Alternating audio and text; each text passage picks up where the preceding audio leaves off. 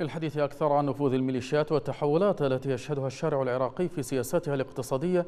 ينضم إلينا عبر الهاتف من هيلسنبورغ بالسويد الباحث في الشؤون السياسية والأمنية العراقية فرات خورشيد. أهلا بك سيد فرات. بداية ميليشيا فرقة العباس التابعة للعتبة تستعرض بالدبابات وبالذخيرة الحية. تحت أي بند يمكن لهذه الميليشيات أن تمارس مثل هذا الاستعراض؟ وهل هو جزء من الابتزاز الذي تمارسه هذه الميليشيات؟ تفضل.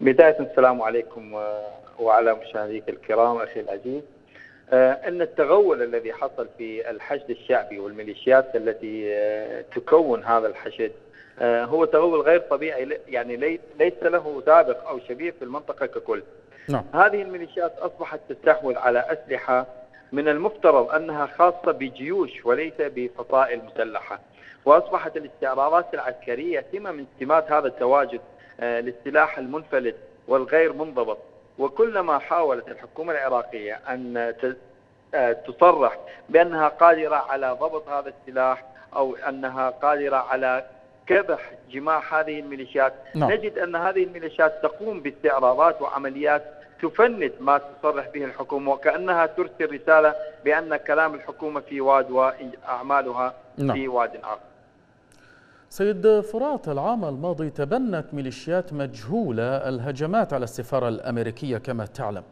منها ميليشيا أهل الكهف في وقت هدأت الميليشيات المعروفة من وتيرة المواجهة مع القوات الأمريكية السؤال هنا هل هي محاولة للمناورة للترتيب لمخطط التحول في سياساتها؟ بداية أنه ما قامت به الميليشيات في السنة الماضية لم يكن فعلا في حقيقته آه، من باب المقاومة أو كما تدعي في محاولة لإخراج القوات الأمريكية بل هو كان في آه، مساعيها للوصول إلى السلطة. وبعد وصول الإطار الذي هو يسيطر على أغلب تلك الميليشيات أصبحت تلك الميليشيات آه، في مجال آخر وهو الطموح الاقتصادي والمنافع المالية. لذلك بدأت الحكومة أول ما بدأت بالسماح نعم. بتأسيس شركة المهندس التابعة للحشد الشعبي برأس مال آه، من الخزينة العراقية وأفراد يستلمون رواتب أيضا من الدولة العراقية نعم. مقابل أن يستثمروا تلك الأموال لصالحهم ولصالح أحزابهم وهذه سرقة يعني باب جديد آه، من أبواب السرقة التي تقوم بها نعم. الميليشيات وأحزابهم تحدثت سيد فرات عن تأسيس شركة المهندس وأنها باب جديد للسرقة كما قلت. السؤال الجديد يعني إلى أي مدى ترى أن هذا التحول من الميليشيات هو خطوة نحو التفرغ للمشروعات الاقتصادية التي بدأت تتوغل فيها الميليشيات بشكل أكبر وملفت للأنظار كجزء من أهم مواردها؟ تفضل. الانتقال التي قامت بها الميليشيات في هذه الحركة هو أنها تحولت من مرحلة أخذ الإتاوات من الشركات التي تقوم بتنفيذ المشاريع نعم. إلى الاستحواذ على المشاريع نفسها وهذا هو نموذج مستنسخ عن ما يقوم به الحرس الثوري الإيراني في إيران حيث يستولي الحرس الثوري على كافة المقاومات الاقتصادية هنا نتساءل كيف يمكن للحكومة العراقية إقناع المستثمر الأجنبي وشركات عالمية رصينة أن تأتي لتعمل في العراق وهي تعلم مسبقا أنها ستدخل في منافسة نعم. مع آه، مؤسسة تمتلك فصائل مسلحة وتمتلك نعم. نفوذ سياسي هذا يعني يدمر الاقتصاد العراقي ويدمر فرصة وجود استثمار أجنبي ناجح ميدل إيست آي كشفت سيد فرات عن خلافات بين زعماء الميليشيات على المصالح الاقتصادية والأمنية. السؤال هنا إلى أي مدى ترى أنه من الممكن أن يتحول هذا الواقع الاقتصادي الذي تحاول إيران والميليشيات صناعته إلى أي مدى يمكن أن يتحول سببا للاحتراب بين مختلف الميليشيات على الغنائم؟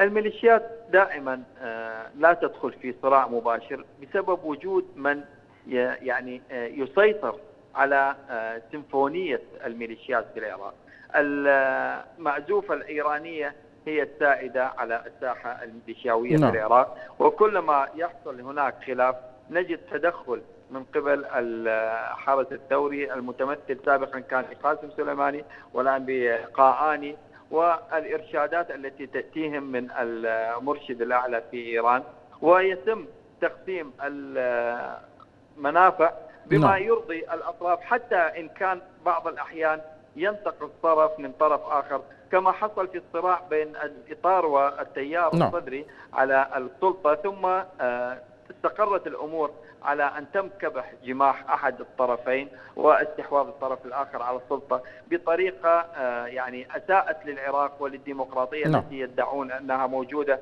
بأن أوصلت الخاسرين و آه، شكلت حكومة من أفراد لا يستحقون حتى نعم. أن يكونوا ضمن مقاعد البرلمان. إلى سؤال جديد سيد فرات يعني بحسب منتدى الخليج الدولي للدراسات فإن ميليشيا الحشد تتوجه لأن تكون نسخة من الحرس الثوري الإيراني. السؤال هنا إلى أي مدى ترى أن هذه الترتيبات والتوغل الاقتصادي للميليشيات يمهد فعلا لأن تكون الميليشيات حرسا ثوريا جديدا؟ هي بالأساس آه، وصلت لهذه المرحلة يعني سابقا كانت جزء من الحرس الثوري تأتمر بأوامر قيادات الحرس الثوري الآن هي البديل والسبب في ذلك أن الانهيار الكبير في الاقتصاد الإيراني نعم. جعل الحكومة الإيرانية والحرس الثوري يسعى إلى استثمارات جديدة والبديل الوحيد والأفضل حاليا في المنطقة هو العراق، لذلك نحن لا يمكننا القول بأن الحشد الشعبي هو حشد عراقي حاليا بقدر ما نعم. نقول. هو حرس ثوري إيراني مبطن بغلاف عراقي. نعم للسؤال الأخير سيد فرات يعني هناك من يرى أن السودان يحاول الوقوف أمام هذه المشاريع وتغول الميليشيات ولكن أيضا هناك من يرون أن السوداني بالفعل يقوم بما يلزم من أجل تحجيم هذه الميليشيات كيف تعلق على ذلك؟ بالعكس تماما السوداني خاضع بالكامل لهذه الميليشيات ويمشي على خطاها ويأتمر بأمرها وقد صرحوا قادة الإطار التنسيقي بأكثر من مرة وبصريح العبارة بأن السوداني لا يمكنه اتخاذ أي قرار دون الرجوع إلى الإطار نعم. التنسيقي وهذا يعني الكلام صدر عن نور المالكي وعن قيس الخزعلي وآخرين هذا يجعلنا نتأكد بأن الإطار التنسيقي هو من يحكم حتى لو كان آه، يعني السوداني يدعي باستقلاليته أو إنه قادر على إدارة الملف نعم. الوزاري بعيدا عن المجاذبات السياسية في الإطار وغيره. من هلسنبورغ بالسويد الباحث في الشؤون السياسية والأمنية العراقية فرات رشيد فرات خورشيد كنت معنا عبر الهاتف شكرا جزيلا لك.